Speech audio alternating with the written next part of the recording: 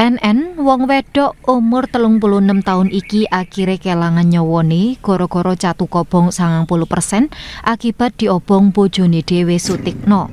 Warga dalan dukuh bulu gang kinco sambi kerap Surabaya iki matek sak marine diramut intensif nduk rumah sakit Dr. Sutomo Surabaya sak suwene petang dino. NN ngalami catu kobong ambek keluru anake DR rolikur tahun ambek AB wolung tahun.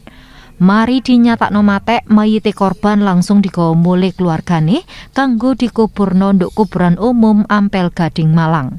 Sauntara keloro anake korban saiki sik diramut intensif nang rumah sakit termasuk pelaku sing kenek dilatani geni.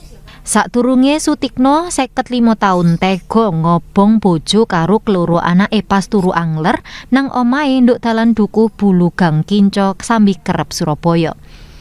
Akibat kelakuane pelaku iku, telu korban termasuk pelaku ngalami catu kobong nemen, ambek kudu diplayok nonang rumah sakit.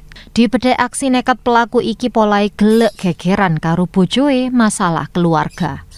Juli Susanto, JTV.